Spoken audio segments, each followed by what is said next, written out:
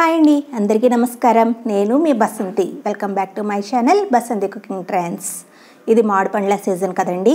Summer వచ్చిందంటేనే మామిడి పండ్ల హంగామా మొదలైనట్లే. మామిడి పండు అంటే ఇష్టపడిన వారంటూ ఉండరు. అంత టేస్టీగా ఉంటుంది. సో ఈ మామిడి పండుతో రొటీన్గా కాకుండా కొంచెం వెరైటీగా స్వీట్ తయారు చేసుకుందాం. అది ఎలాగో ఈ వీడియోలో చూసేయండి. ఫస్ట్ ఒక బౌల్ తీసుకొని అందులో ఒక కప్పు మైదా పిండిని వేసుకోండి. అందులో కొద్దిగా సాల్ట్ కొద్దిగా పసుపు వేసుకొని కలుపుకోవాలి. మీరు కావాలనుకుంటే ఇక్కడ మైదా పిండికి బదులుగా గోధుమ పిండిని కూడా వాడుకోవచ్చు. తర్వాత కాచిన వేడి నీటిని కొద్ది కొద్దిగా పోసుకుంటూ పిండిని చపాతీ పిండిలాగా కలుపుకోవాలి. వేడి నీటిని పోసుకోవడం వల్ల పిండి అనేది చాలా సాఫ్ట్గా ఉంటుందండి. ఇప్పుడు అందులో ఒక స్పూన్ నెయ్యిని కూడా వేసుకొని కలుపుకోవాలి. ఇలా బాగా స్మూత్గా కలుపుకున్న తర్వాత దీనిపైన మూతను పెట్టి పక్కన పెట్టేసుకోండి.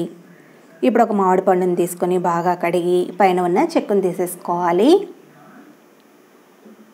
ఇప్పుడు ఈ మామిడి పండును చిన్న చిన్న ముక్కలుగా కట్ చేసుకోండి.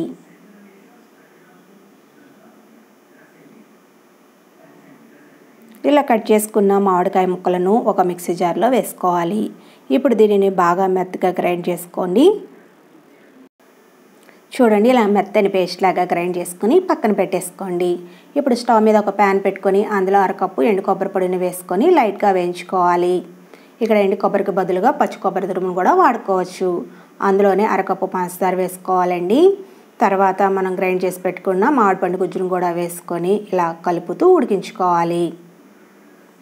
ఇక్కడ పంచదారకి బదులుగా బెల్లాన్ని అయినా వాడుకోవచ్చండి.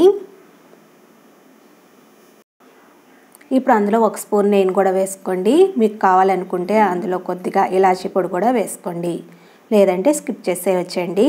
ఇప్పుడు స్టవ్ మీడియం ఫ్లేమ్లో పెట్టుకొని అడుగు పట్టకుండా ఇలా కలుపుతూ ఉడికించుకోవాలి. ఇలా ప్యాన్ నుండి సపరేట్ అయ్యి దగ్గర పడేంత వరకు కూడా ఉడికించుకొని తర్వాత స్టవ్ ఆఫ్ చేసుకోండి. ఇప్పుడు ఈ మిశ్రమాన్ని ఒక ప్లేట్లోకి తీసుకొని పూర్తిగా చల్లారనివ్వాలి. నెక్స్ట్ మనం ముందుగా కలిపెట్టుకున్న పిండిని చూడండి ఎంత సాఫ్ట్గా తయారయ్యిందో. వేడి నీటిని పోసుకోవడం వల్ల ఇలా సాఫ్ట్గా ఉంటుందండి.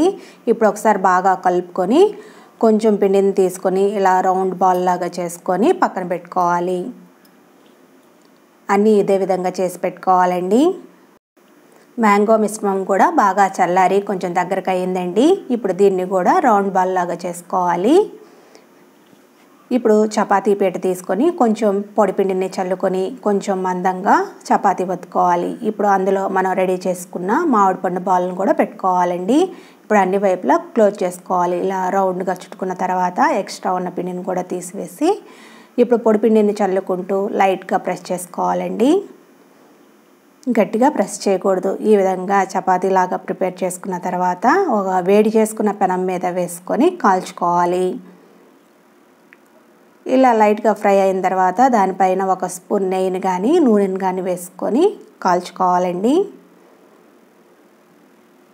ఒకవైపు ఫ్రై అయిన తర్వాత రెండో వైపు కూడా టర్న్ చేసుకోవాలి. రెండు వైపులా ఇలా చక్కగా ఫ్రై చేసుకోవాలండి. చూడండి ఎంత చక్కగా పొంగుతూ ఫ్రై అవుతుందో. ఇలా చక్కగా ఫ్రై చేసుకున్న తర్వాత ఒక ప్లేట్లోకి తీసుకోండి. అన్నీ కూడా ఇదే విధంగా ఫ్రై చేసుకోవాలి. అంతేనండి నోట్లో పెట్టుకోగానే వెన్నెల కరిగిపోయే మ్యాంగో స్వీట్ రెడీ.